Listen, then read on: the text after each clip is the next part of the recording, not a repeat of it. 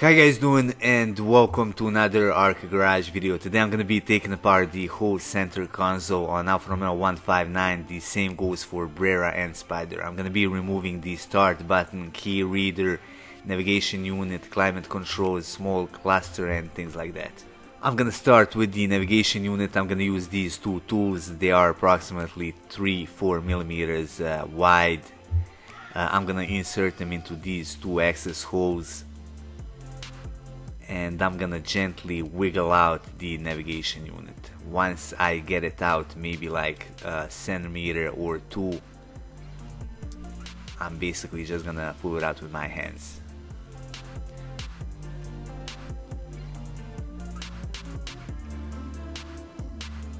Just like that.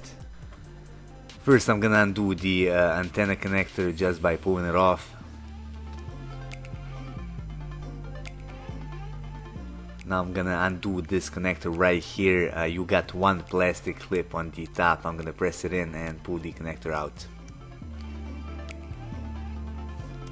To remove uh, this uh, bottom white one all you gotta do is uh, press in this little plastic clip and pull the lever down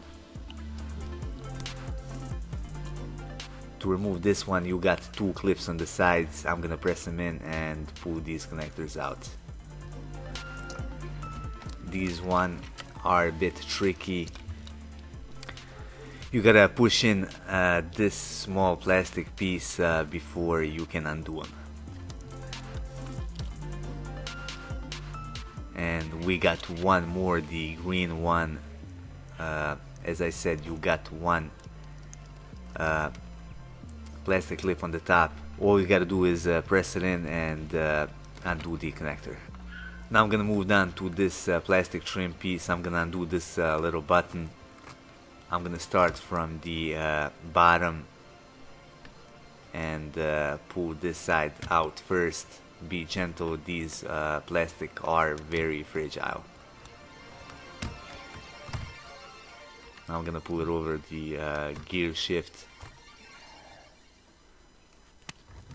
before I can remove it I'm gonna undo these uh, two connectors. To undo the white one you got the clip on the side.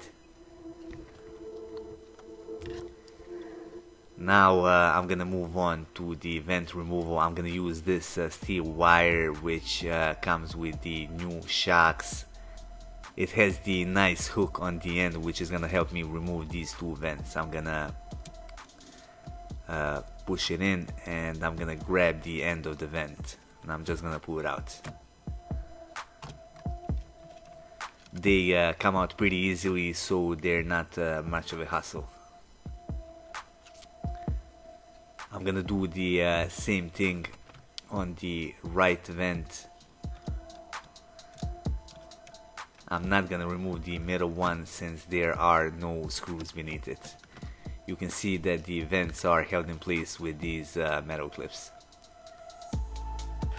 Moving on to the screws, there are six of them in total, uh, two on the bottom that you can see right here. There are two where the navigation uh, unit is located and there are two on the top uh, right where the uh, two vents that I just removed uh, were.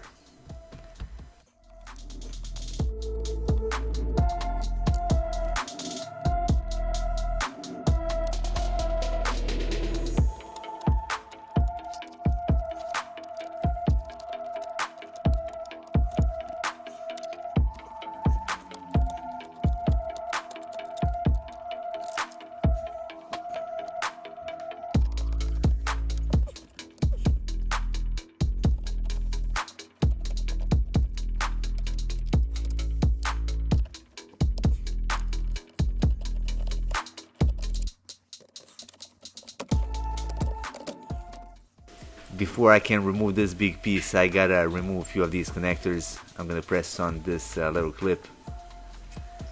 Now this one is a bit tricky. You gotta pull on the uh, small plastic piece to uh, remove the connector for the start button.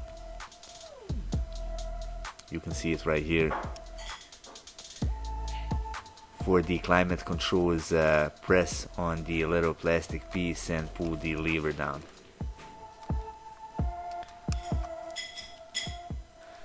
Now I'm gonna disassemble the climate controls using a 3mm Allen socket. I got 4 screws that I gotta remove on each corner.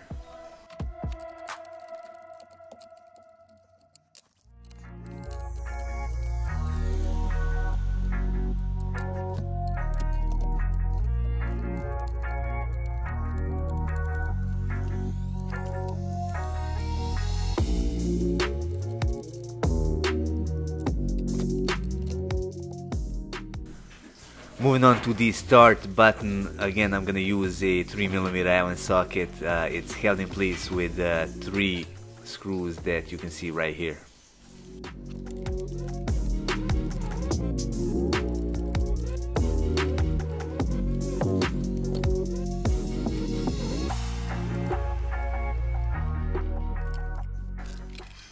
Lastly, I'm gonna remove the key reader. Again, it's held in place uh, with uh, three identical screws.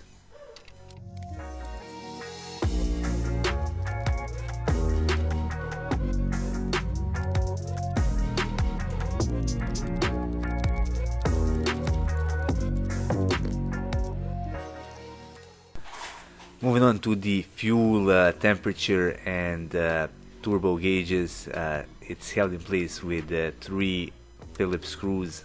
I'm gonna undo them and uh, I'm gonna remove it by pulling it to the left side.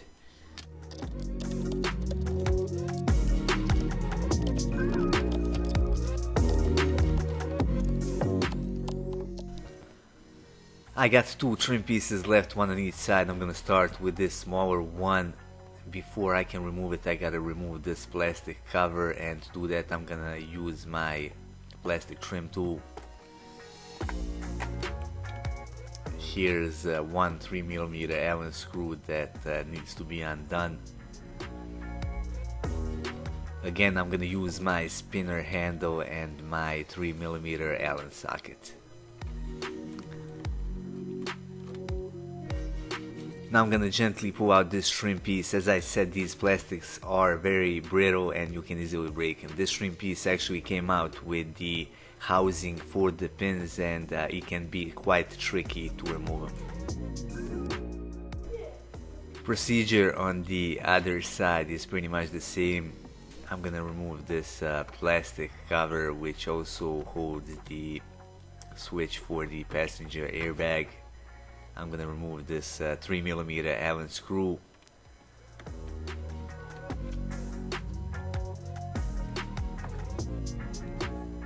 And now I'm gonna gently pry off this uh, trim piece.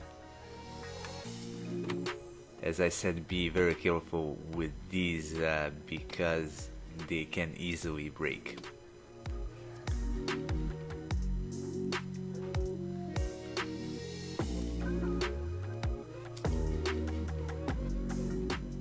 we take a closer look here you can see that it's held in place with these uh, pins